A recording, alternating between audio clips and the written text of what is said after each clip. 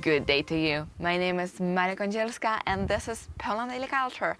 Have you ever asked yourself the question, uh, what are the materials your painting is made of? Is it only paint or something more?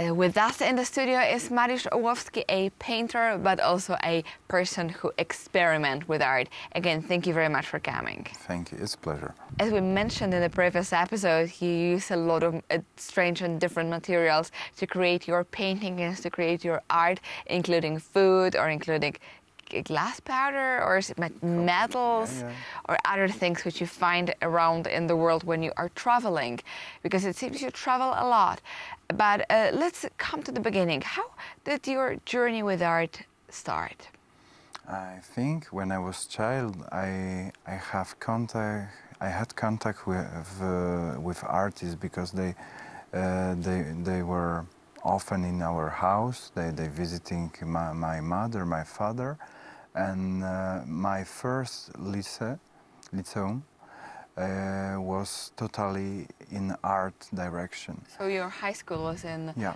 uh, in art direction so you're specializing in it And uh, after this, I was uh, sure I, I love art, I love painting, but maybe it's not the best way for, for living because uh, world is totally different. We, we have computer games and then the electronical world.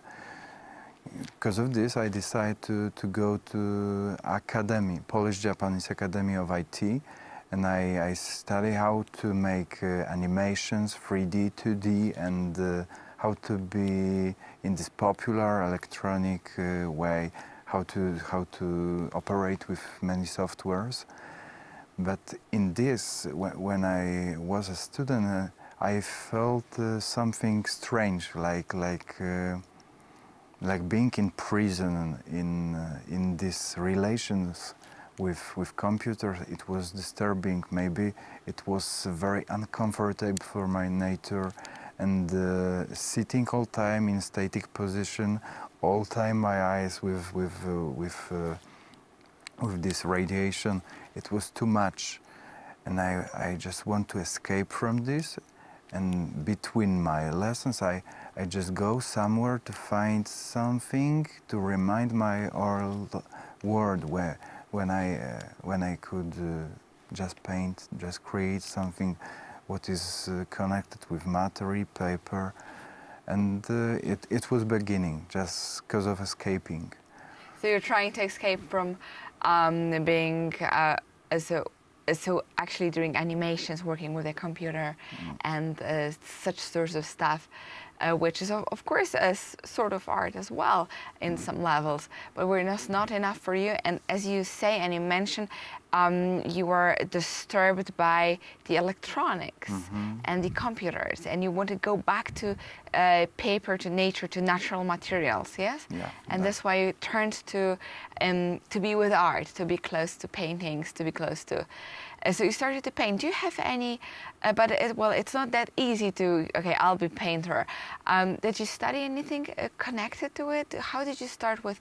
Did you have a master, a teacher? I had a lot of people which uh, had tips for me that they, they told, okay, you can do it like this, you can do it like this.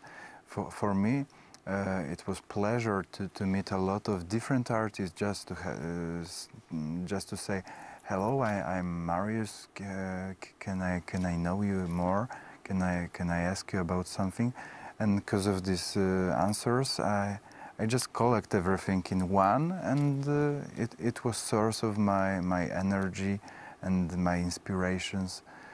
I think it was beginning after I, I cut everything, and I, I just want to be close only mm, with nature, without artists, without uh, context, without uh, directions of, of human perspective. Okay, that's an interesting point of view. So, um, you at some point of your life, you just cut yourself out from the world, and you wanted to focus just on nature to be your inspiration. How did you do it? After all, living, for example, in Warsaw, it might be a challenge. You know, just uh, it's it's important to be concentrated in a process of nature because uh, nature made everything in in same way like like 1000 years ago and uh, it will be the same in uh, next uh, next years. This is uh, immortal quality which which is very very cl clean for me. Maybe maybe uh, this is kind of beauty.